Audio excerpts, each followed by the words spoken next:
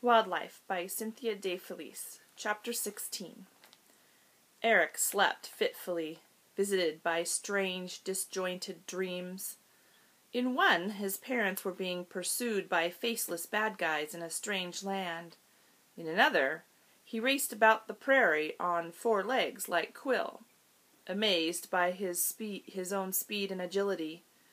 In the last, his grandmother, frantic with worry about him, had called Mr. Poole, his elementary school principal, to track him down. As Mr. Poole closed in on his hiding place, Eric became so anxious he felt sick. So very, very sick. He woke then, clutching his stomach. A painful cramp seized him, followed by another. He leaped to his feet and managed to walk a few steps before becoming ill. Sinking to his knees, he spewed the contents of his stomach onto the ground in a series of violent spasms. Lifting his head shakily, he felt the cramps move lower and knew with dread that his illness was not going to be limited to vomiting. Hours passed during which Eric was racked by fever and sickness. Finally, spent and exhausted, he lay face up on his sleeping bag.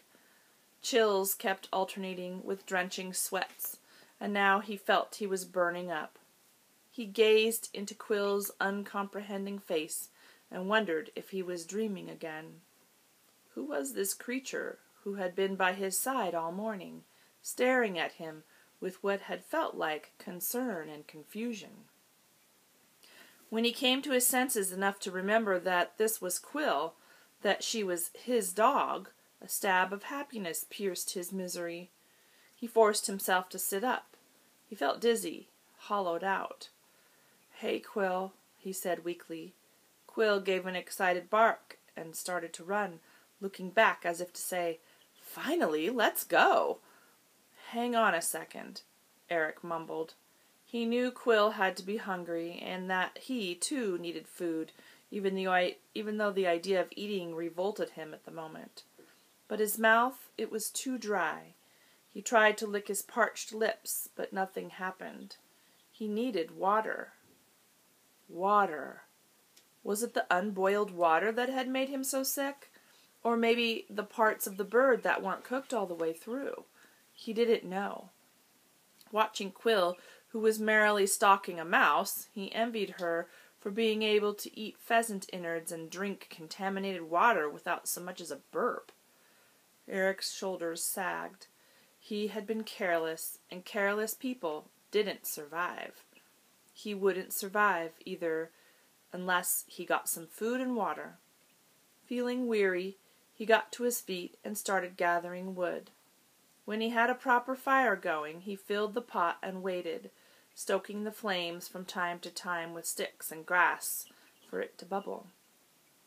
He let it boil for several minutes wishing he knew if there were some kind of rule about how long it took to kill the bugs in there.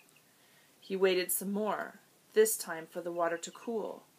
As he did, he began to feel better, stronger. A stiff breeze had come up from the northwest, bringing much colder air with it, so he put on his warmest clothing. Then he forced himself to drink the water in small, slow sips. When it was gone, he boiled more to fill his canteen, and at last he felt ready to move on. He had recovered enough to feel his hunger return. He guessed the time to be about ten or eleven o'clock. His pack held nothing at all to eat, and Eric had just one thought in mind finding food. After about an hour of walking, he noticed that Quill was moving quickly, her nose down, tail wagging. Expecting a bird to go up any minute, he was unprepared when a jackrabbit appeared and started racing across the field. Eric didn't think to shoot it until it was too far away. Quill, who approached birds slowly in order to point and hold them, showed no such restraint when it came to the rabbit. She took off after it, giving high-pitched, excited yips that sounded to Eric like a rusty gate swinging back and forth in the wind. He laughed at first, watching the jackrabbit dodge and weave with Quill in hot pursuit. But when Quill had run well over a mile and was out of sight, he became concerned. He followed, calling for her until he grew hoarse. fighting down the panic that rose in his chest at the idea of losing her. Mike Duvachin had said she had run off on him. Maybe it had happened just this way. Not knowing what to do, Eric sank down in the grass. He had no chance of finding Quill. She would have to find him. If she wanted to. He couldn't bear to think what he'd do if she didn't. Finally, he saw her, a tiny speck on the horizon moving slowly toward him. Something about her gait looked strange to him. When she approached at last, she was panting heavily. Her tongue was hanging out, her tail was drooping, and she was favoring her right front leg. Any notion of a scolding was forgotten. Eric held her head and rubbed his face along her cheek. Then he lifted her leg and examined it carefully, pressing down the length of it from shoulder to foot, gently bending each joint. Oh, Quill, he said softly, what have you done to yourself? He worked his way back up the leg, and she let out a little whine when he reached the joint below her shoulder. There was nothing obvious there no cut, no bleeding, no sharp thorn. Eric figured she must have strained or torn a muscle and hoped it wasn't too serious. He emptied half the water from the canteen and watched as she lapped it all up. Then she lay down in the grass, tongue dripping, still panting. Eric took a small sip of water and sat beside her to wait for her to cool down. After a while, Quill got up and looked around, her nose twitching. She looked at Eric as if to say, I'm ready. You? And she began trotting across the field. She limped slightly with every step, but didn't appear to take any notice of it. Eric admired her spirit, but at the same time he worried about her. What would happen if she became too lame to walk, to hunt? They would starve for sure. He imagined how good that rabbit would have tasted and promised himself he'd be ready to shoot whatever Quill found, whether it flew, ran, climbed a tree, or slithered on the ground. He paused for a moment, wondering if he was hungry enough to eat a snake. The answer was yes. Yep, he sure was. He was pretty sure he remembered somebody saying it tasted like chicken, but everyone had laughed afterwards, so he wasn't sure if that was true or not. By late afternoon, Eric had drunk all his water and missed two roosters. In desperation, he took a shot at a hen. It came down, and Quill retrieved it. Guiltily, Eric field dressed it and put it into his pack. It was time to start looking for a place to stop for the night. Quill's leg seemed to have recovered, but he didn't want to push her any farther than he had to. Ahead, Eric could see some buildings. The temptation of finding easy water from a spigot, as he had before, drew him closer. He leashed Quill, and they sneaked forward a few steps at a time, taking cover where they could, ready to drop to the ground at the first sign of a person. There was a farmhouse at the end of a long driveway, but it had a deserted look about it. The roof was caved in on one side and the porch was falling off. As he drew near, he saw that several of the windows were broken. There were two cars up on blocks and a rusty truck with the hood raised. Eric had the feeling it had been that way for a long time.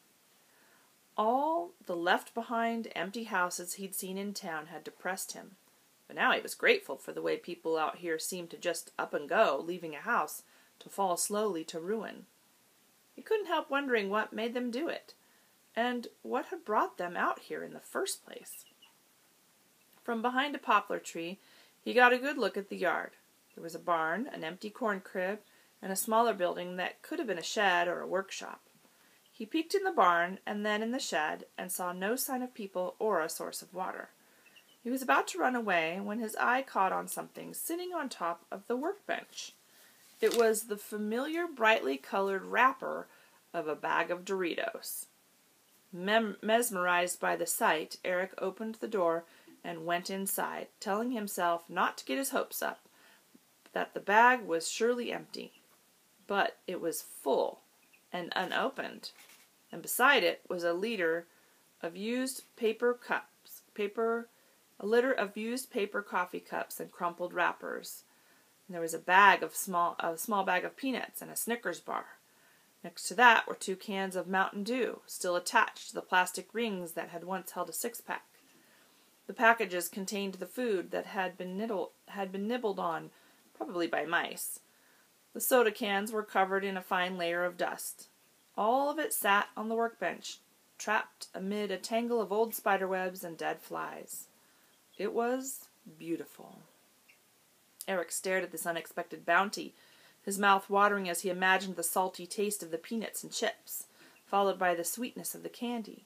He grabbed the chip bag and held it up so Quill, who was sniffing around in the corner, could see it. Then he ripped it open, stuffed a handful into his mouth, and held out another handful for Quill. The flood of flavor in his mouth was delicious.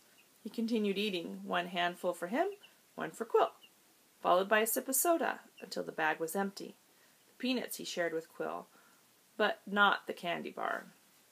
As he unhooked her leash, leash, he explained to her that he wasn't being selfish. It was just that he remembered Patrick and Mr. Holt talking about the time Hot Spots ate an entire chocolate cake and nearly died. Eric didn't know if the coating on a candy bar was enough chocolate to make a dog sick, but he wasn't taking any chances. Besides, he told her several times during the day, he had noticed her chewing on things she had come across in her travels grass, bones, dead animals, and, he suspected, rabbit poop. He, com- he comforted himself with the thought that she had a lot more in her stomach than he did. As they trudged on, Eric realized that he had just helped himself to someone else's property without thinking twice about it. Earlier in the day, he'd shot a hen pheasant, something no respectable hunter would do. In the space of a single afternoon, it seemed. He'd embarked on a career in crime, going from being a mere liar and runaway to poacher, trespasser, and now thief. A small voice inside reminded him that he had become a thief when he ran off with Quill. She didn't really belong to him, even if her owner didn't deserve her. Doubts about what he was doing crowded his thoughts. Was he really living off the land if he was eating Doritos and slugging down Mountain Dew? Did the fact that he was trying to survive make it okay to do things he knew were wrong? These thoughts made him uncomfortable, and he tried to put them out of his mind. When he saw the straight line of a road about a quarter mile ahead, he put his hand on Quill's collar to control her.